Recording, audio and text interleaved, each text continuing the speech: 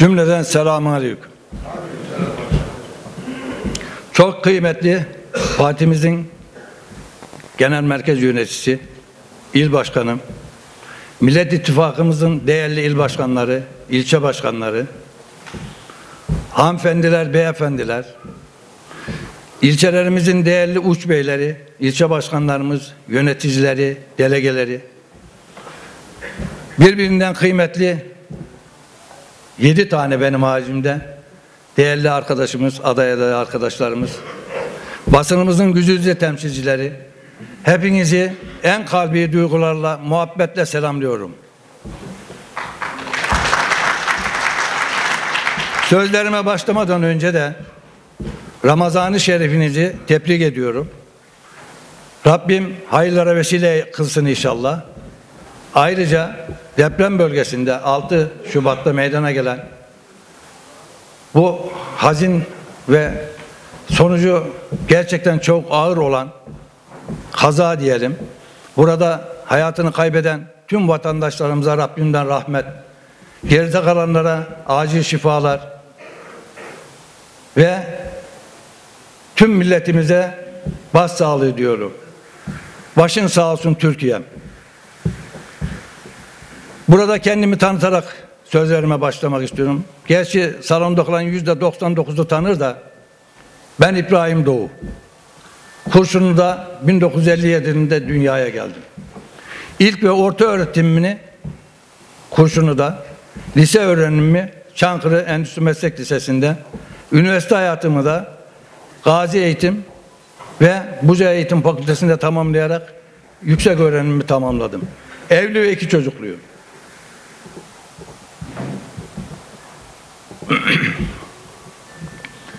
Memuriyet hayatımın 10. yılında Çankırı ilimiz Kurşunlu ilçesinde 1988 yılının 31 aralığında istifa ederek 89 yılında yapılacak 26 madde yapılacak olan seçimlerde belediye başkanlığına aday oldum. Rabbim nasip etti.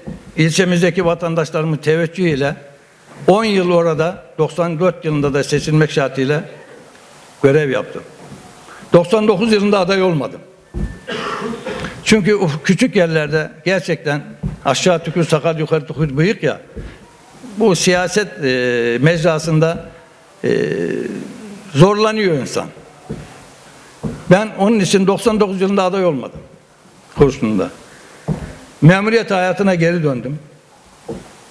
Devletin belli kademelerinde uzman olarak görev yaptım. 2003 yılında yine 30 Aralık'ta istifa ederek memuriyet hayatına tekrardan üçüncü kez kurşunda belediye başkanlığına aday oldum. 10 yıl aralıksız yine belediye başkanlığı yaptım. Bu belediye başkanlığı yapmış olduğum süre içerisinde ilçemde değişik hizmetlere yapmaya Cenab-ı Allah bana nasip etti. Hizmetleri yapmayı. Şimdi bu belediye başkanlığı süresinde yapmış olduklarım benim için bir karne. Ben yereldeki bu tecrübemi, bu bilgimi, bu becerimi yerelden genele taşımak istiyorum. Çünkü yerel gerçekten Türk siyasi hayatında yani hizmet noktasında genelden daha çok insanlara şevk veriyor, huzur veriyor, azim veriyor, kararlılık veriyor. Çünkü kendi yöreye kendin hizmet ediyorsun. Sen kendin hizmet ediyorsun. Meclisin başısın, harcama yetkilisisin. Bu güzel işler ortaya çıkarttığında insanları mutlu görmek var ya, ziyadesiyle bizleri de mutlu ediyor. İşte bu bilgi ve birikim ve tecrübeden dolayı ben e, milletvekili aday adaylığına kendim bu işin altından kalkacağıma kendim olan güvenimle birlikte aday oldum. Yapmış olduğum hizmetler burada sadece üçünden bahsedeceğim. Sadece üçünden. Dünyada eşi benzeri olmayan, dünyada diyorum bak, Türkiye'de değil, dünyada bir buçuk milyon metrekare 1500 dönüm resperlik yaparlar bilirler 1500 dönüm bir fabrikayı hayata geçirdim. İlmek ilmek karış karış adım adım bu işlerin bütün takipçisi oldum. Ve şu anda orada 18 üniteden müteşekkil yani e, fırından müteşekkil en fazla 5 fırın çalıştı. Şu arz talep meselesi. Oraya o yatırımı yapmak benim için büyük mutluluk ve şu anda da orada e, binin üzerinde işçimiz iş, aş, ekmek yiyor. Şu yakın kentteki fabrika yapılmazdan önce lastik, e, akü ve çorap Allah bin kere razı olsun. Burada da hani hizmeti geçenlerde e, yad etmek lazım. Hüseyin Filiz'in sayesinde yapıldı. O fabrika yapılmadan önce Kurşunlu'ya buradan Çankırı merkezden 350 tane işçimiz gelip gidiyordu. 350 işçi vardiyeli. Onlar şimdi burada fabrikada çalışmaya devam ediyorlar. İki, TOKİ. Çankırı'da dahi ulaşamadığın rakama ben kurşunda ulaştım. 975 konut bir, 384 konut bir. Konut sonunda şu anda kurşunluda işsizlik noktasında da işsizliğimiz de yok, konut sonunda kalmamıştır. Üçüncüsü doğalgaz. Büyük işlerden. Çankırı'nın da yüzde otuzunda kırkında doğalgaz yok lan. 2010 yılında benim kurşunumda yüzde yüzünde doğalgaz vardı. Hani iş nasıl yapılır? Bürokraside iş nasıl takip edilir? Nereden girilir, nereden çıkılır? Benim en iyi bildiğim işlerden bir tanesi. Yapabileceğim işlerden bir tanesi. Yani bürokraside iş takip etmek, e, siyaset mecrasındaki çevreni kullanarak bu bürokrasiye bunu nasıl yansıtırsın en iyi bilenlerden biriyim. Allah'ıma şükürler olsun.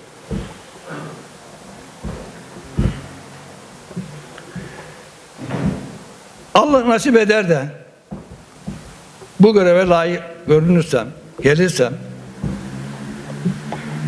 burada teşkilatlarımız, seçilmiş olan muhtarlarımız, ilgilenmesi üyelerimiz, belediye başkanlarımızın vay haline. Niye? Çünkü bende durak dinlek yoktur. Ben koşar, koşar adım giderim hizmet üzerine. Bende geri vites yoktur. Kafaya bir işi taktığım sürece karşıda inenin deliğinden geç. Ya bu işi işte inenin deliğinden geçmen lazım yapmak için. Ben o inenin deliğinden geçerim, o işte hayata geçiririm. Bendeki meziyet de bu. Burada ben bir şeye de dikkaten bir noktada sadece değinip geçeceğim. İthal aday konusu. Arkadaşlar yapmayın. Hepimiz Çankırı çocuğuyuz. Hepimiz bu memleketin asil evladıyız. Şimdi ben buradan soruyorum. İlçe başkanlarımızdan bak. İlçe başkanlarımda benim bile bildiğim beş tane aday var. İlçe başkanı olup yani olmak için aday olan ve ilçe başkanı olan arkadaşımız var. İş, aş, ekmek için, iş hayatı için, memuriyatlarının yurt dışı, şey, ilçe, il dışına çıkmışlar. Ankara, İstanbul'da. E dönmüşler emekli olmuş, gelmiş ilçe başkanı. Bu ithal mi şimdi? Şimdi bizlerin ithal adayı diyerek ortaya koyduğumuz bu yalan yanı saçma sapan işten kim zarar görüyor? Hepimiz zarar görüyoruz. Memleketimiz zarar görüyor, parti zarar görüyor. Şimdi Fehmi Bey iş aş için gitmiş Ankara'ya. 3-5 sene önce, 10 sene önce. E Mehmet Ali Bey dışarıda hayatını idame ettirmiş. Öyle değil Mustafa Bey keza öyle. E şimdi bunlar yani ithal aday oluyor. E biz yerli aday oluyoruz. Kesinlikle böyle bir polemaya girmenize gerek yok. Hepimiz Çankırı çocuğuyuz. Özümüzde sözümüzde Çankırı ve burası. Çankırı'mız ufak da olsa memur, işçi ve emekli kenti. Ya bununla gelişme imkanımız var mı bizim? Memur sayısını artırmakla, emekliler olanlarımızı Çankırı'dan, şey dışarıdan Çankırı'ya davet etmekle, işçi sayısını artırmakla bu mümkün değil. Zaten ektiğimizin karşılığı belli. Tarımdaki, hayvancılıktaki, bunu hepimiz tarım hayvancılıkla uğraşıyoruz. Belli girdileri. Çankırı ayağa kaldırmanın tek bir şeyi var. İşte Kurşunlu'da, Şabanözü'nde, Çerkeş'inde, e, organizede, Korgun'da olduğu gibi sanayileşmedikten sonra Çankırı'nın kalkınması mümkün değil. Bunun için hep birlikte el ele vereceğiz. Seçilelim seçilmeyelim hiç önemli değil. Ama Çankırı'mızın kalkınması için taşın altına hepimiz birden elimizi sokacağız ki bu Çankırı gelişsin ve büyüsün. Birbirimizin arkasından konuşarak, dedikodu yaparak, işte sen şunu yaptın, ben bunu yaptıydım diyerekten bir yere varamayız. Bunu da lütfen hepinizden rica ediyorum. Bu tür dedikodularda mail vermeyelim. Efendim? Son bir dakika. Bir dakika canım sen de 2-3 dakika ver gayrı. Allah Allah. Değerli arkadaşlar, gerçekten 20 yıldır, biraz önce Aydın Bey de bahsetti de, ekonomik yönden, siyasi yönden, iktisadi yönden gerçekten memleket iyi yönetilmiyor. Memleket uçurumun eşiğine gelmiş. Ama birilerinin hiç umurunda değil. Yukarıdaki insanlar sevki sefasında olabilir. Ama bizlerin umurunda. Niye? Onlar o türlü varlık içinde yaşamaya alışmışlar. Ya bizim de kaderimiz Allah aşkına yani yokluklar içinde yaşamak olmamalı. Onun için İyi Partimizi ve Millet İttifakı'nı güçlü bir şekilde iktidara taşıyacağız. İktidara taşıyacağız ki asanamızı başbakan Sayın Kılıçdaroğlu'nu da Cumhurbaşkanı yapmak için elimizden geldiğince çaba sarf etmek mecburiyetindeyiz. Bu da böyle bilinir.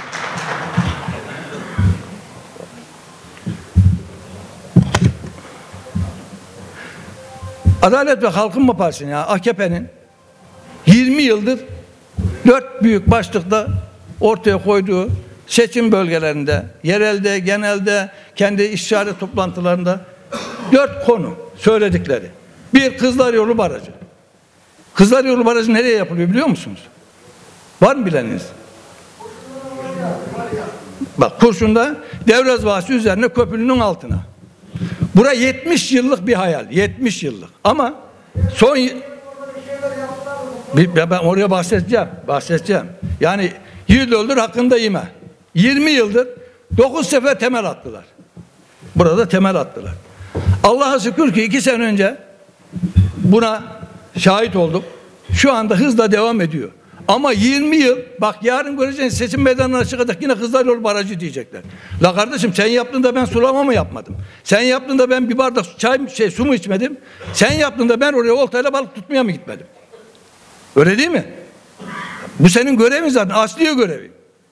Yapmayacaksan oraya niye gidiyorsun 20 yıldır? İki, çevre yolu. İlimizin dışından geçen ve e, üniversitenin oradan süt fabrikasını oraya birleşecek yok. 11 yıl oldu ya. Utanır, sıkılır insan ya 11 yıl. Bu ağır trafiği burnun içeriden dışarıya tassan ölümlere de 11 yıldır bir yolu yaptı hayata geçiremediler. Yarın bir gün yine gelecekler yine onu söyleyecekler. Korgun yolu. Bu sene alelacele Aralık, Ocak, Şubat'ta asfaltladılar. Belli bir kısmı duruyor. Giden var mı yakın zamanda? Köstebek yuvasına dönmüş yıl. Eksi 13 derecede oraya asfalt atarsan işte bu hale gelir. Kimin şey, malı bu? Bizlerin sizden tüy bitmedi getimin hakkı. Hastane. Allah aşkına ya ilçelerde bizler başardık bunu ya. Ben Kurşunlu ilçemde geldiler benden taleple bulundular. D100 karayolunun kenarında iki TOKİ'nin yanında 8800 metrekare yeri verdim. Aynı sene hastane yapıldı bitildi. Çankırı'da yer, yer bulamadılar. Herhalde bu ayın 27'sinde ihalesi oldu zannediyorum. Öyle mi şeker? Yani onun da daha yapılıp yapılmayacağı da belli değil. Çünkü deprem bölgesine attıkları hani biliyorsunuz şöyle bir ramork kadar yere dört tane demir döşet bir beton atıyor da burada inşallah ona dönmez. Ama Allah nasip eder de iktidarımız döneminde bunlar nasıl hayata geçiyor bunlar da onlara öğretiriz. İlmek ilmek öğretiriz. TOKİ Kurşun'da dedim ya 1300 küsür tane TOKİ yaptırdık. Onun şartlarında hatta Hüseyin Filiz de buradaki işaret toplantılarında kurşunluyu örnek veriyordu devamlı. Allah aşkına şurada yapılan TOKİ'lere bir bakın ya. Kalenin dibinde. Ya orada evin olsan ne olur olmasan ne olur. Tuzlu bağlarında. Vatandaş TOKİ'ye gidip gelmek için ayda iki defa benzin harcar. İki defa benzin bugün 2000 lira ya. Adam burada kira yapsa ondan karlı olur. Bunu bile beceremeyen bir iktidar hala cakla cukla yollarına devam etmeye çalışıyorlar. Bir de şu var. E, Çankırı değil, Türkiye olarak böyle üreten toplum olmak mecburiyetindeyiz. Kalkınmanın yolu üretimden geçer. Ama tüketim toplumu haline getirdik. Sadaka kültürüyle bu milletin oyuna talip olan iktidarları gördük. Üretmedikçe kalkınmanın olmayacağını kesinlikle sizlere söylüyoruz.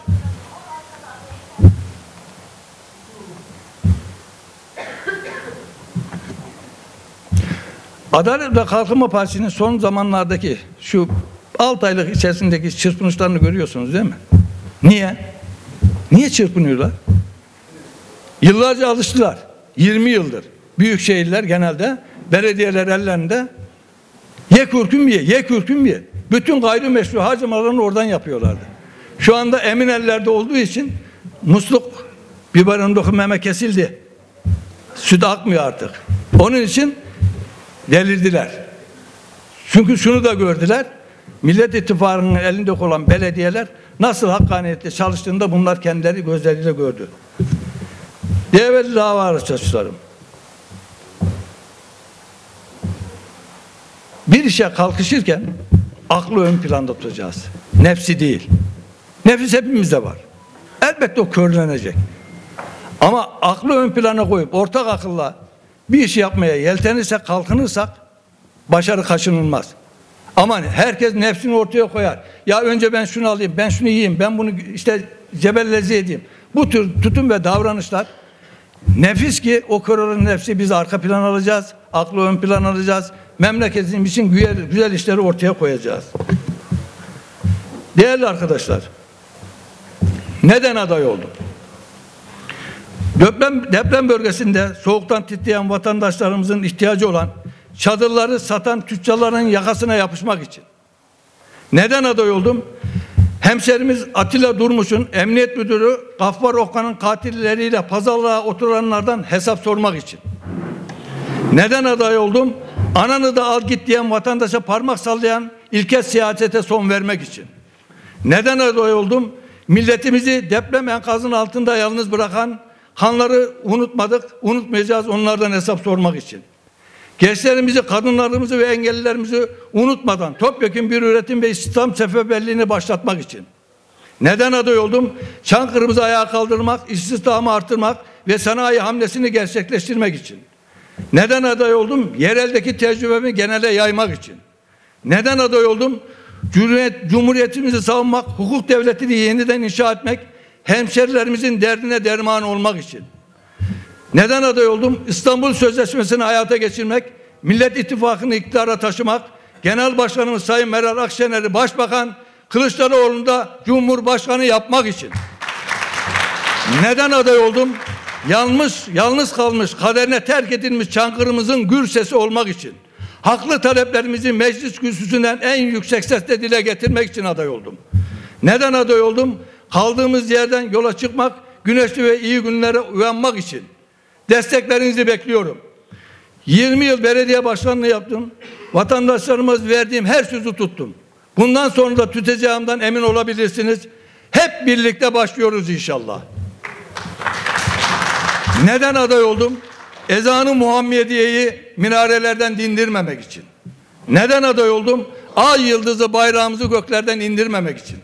Neden aday oldum? FETÖ'sü, PYD'si, PKK'sı, YPG'sinden hesap sormak için aday oldum. Bu duygu ve düşüncelerinize hepinize saygı ve selamlarımı sunuyorum. Allah'a emanet olun. Ne mutlu Türk'üm diyene.